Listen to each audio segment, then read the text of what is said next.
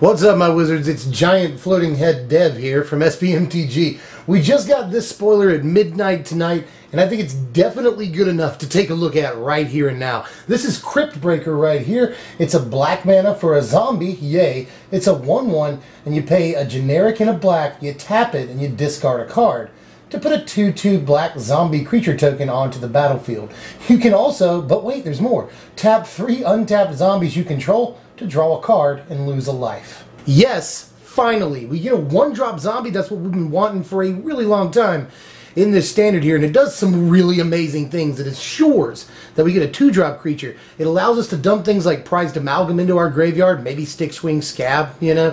Third turn, we can follow this up. You know, first turn this, second turn, create a zombie and dump something in the bin. Third turn, we can follow it up in a variety of ways. You know, we can play a Relentless Dead and have the black mana to, you know, on the third turn to protect the Relentless Dead. That's important. Or we can play a Diregraf Colossus. Either way, no matter how you slice it, you'll have enough zombies at that point to draw cards off of them. And remember, newer players, that a creature that you just put into play doesn't have summoning sickness in this way. You can tap it for this guy's ability the turn it comes out. And do note one more thing that this thing creates untapped zombies at instant speed, which can be ridiculous in certain situations, especially combat situations, on your opponent's turn. So is this the piece that zombies needed in standard? Well, it might actually need another one drop or maybe a really, really good two drop. But this goes a heck of a long way right here and could push the deck over the top, perhaps. I'm not totally sure the deck just wants this one one drop.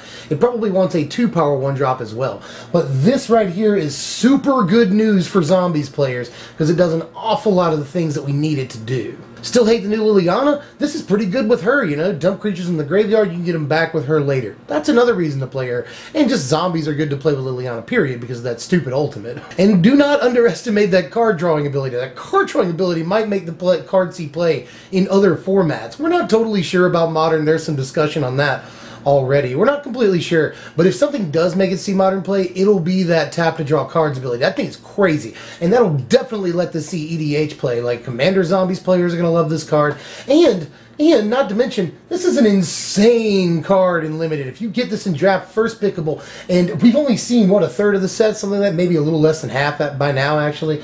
But this is this is one of the better limited windmill slams in like the last few sets. This card is ridiculous in drafting. You make sure you get it if you get you know if you open it. And there's so much to talk about. And if you're in top deck mode, having this on the battlefield ensures you'll always have at least a 2-2 zombie. That's what you're drawing every turn, unless you draw something better than that.